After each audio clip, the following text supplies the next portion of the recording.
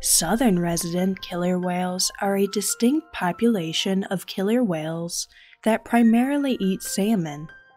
They spend much of the spring and summer months in the inland waters of the Salish Sea, feeding on Chinook salmon. The Salish Sea is located along the coast of Washington state and the coast of British Columbia. In winter, some of the whales spend more time on the outer coast, traveling as far north as northern British Columbia and occasionally southeast Alaska, and as far south as Monterey Bay in California. When they occupy the outer coast, they add other salmon species such as coho and chum salmon, and some fish like halibut and lingcod to their diet. Killer whales are top predators with distinct body patterns. The back is black with a white chest and sides, and a white patch above and behind the eye. The body is stocky. Their large dorsal fin has a dark gray saddle patch at the fin's rear. Calves are born with a yellowish or orange tint, which eventually fades to white. Calves are already around 8 feet long when they are born.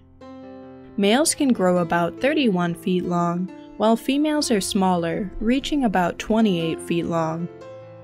Southern resident killer whales associate in stable matriarchal social units called pods.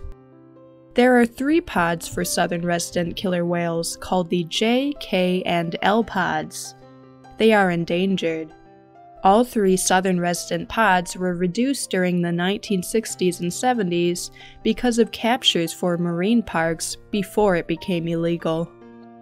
Despite previous population fluctuations, since 2006, their population has generally declined and has not shown signs of recovery, with only 73 individuals as of 2022.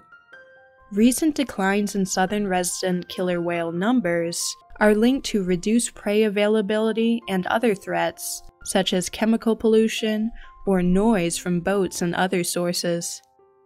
For more marine facts, click the subscribe button.